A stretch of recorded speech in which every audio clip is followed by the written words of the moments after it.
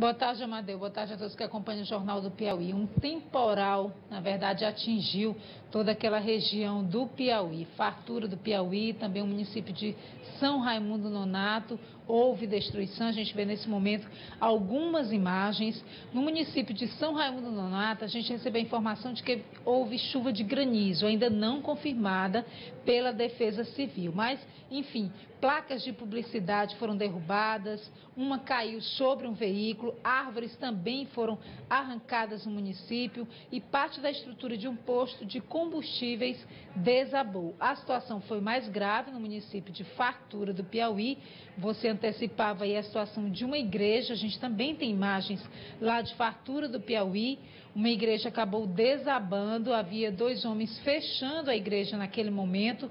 Um deles acabou ficando entre os escombros e não resistiu aos ferimentos. O outro foi encaminhado ao hospital. A gente teve informações também a respeito de uma terceira pessoa que teria sofrido ferimentos durante um, uma casa, estava dentro de uma casa e essa casa também acabou sendo destruída. Então, assim, assustou bastante a população e uma pessoa morreu. A tragédia poderia ter sido maior ainda, já que um culto havia acabado de encerrar nessa igreja, eles estavam fechando a porta da igreja. A gente vai conversar agora com um dos diretores aqui da Defesa Civil, o Vitorino Tavares, que o órgão, na verdade, já está acompanhando essa situação na região sul do estado do Piauí. Pode trazer informações para a gente atualizadas a respeito de como é que está a situação nesses dois municípios, também as providências que devem ser tomadas pela Defesa Civil. Boa tarde.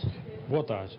No primeiro momento, a, a, gente está fazendo uma análise da situação. Nosso coordenador de defesa civil naquela região, o senhor Martinho Afonso, está lá fazendo um levantamento sobre, principalmente no município de Fartura, onde tivemos vítimas fatais.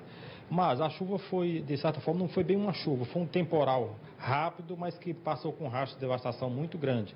E aí causando vítimas e é, está exigindo um momento especial da Defesa Civil nessa situação lá.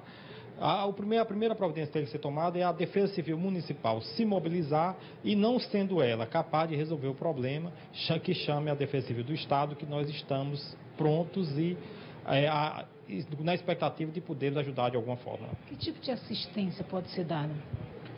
Olha, dependendo da demanda, a, a, é, qualquer que seja ela, o Estado, a Secretaria Estadual de Defesa Civil, procurará ajudar nesse momento, principalmente na questão de de habitação, se tiver tido algum problema, questão de água, que já, a gente já vem fazendo e, se for o caso, vamos aprimorar mais, e qualquer outra assistência no sentido que se possa melhorar e diminuir os efeitos deste, deste temporal que ocorreu lá no município, nos municípios de Fatura e São Raimundo Nonato.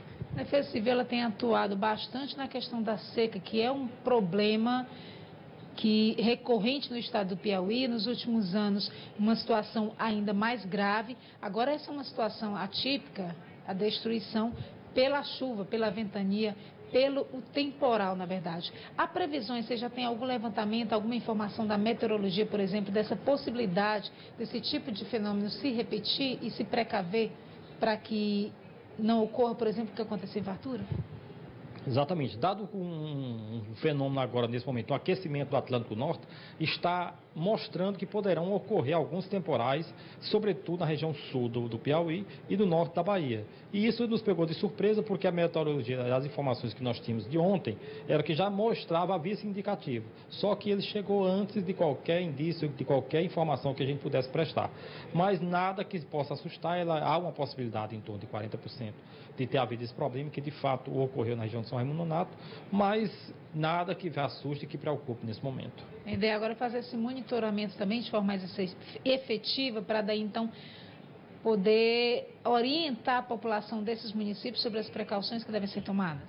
Exatamente. Nós vamos, é, é, dados os boletins que nos chegam aqui do CERT, nós iremos passar essas informações adiante para que as pessoas possam se precaver e estar mais ou menos antenada naquilo que poderá vir a acontecer. Quero agradecer então ao diretor da Defesa Civil, Vitorino Tavares, pelas informações prestadas aqui ao Jornal do Piauí em relação a esse monitoramento que está sendo feito nos municípios de Fartura, São Raimundo Nonato e as providências também que devem ser adotadas. Amadeu.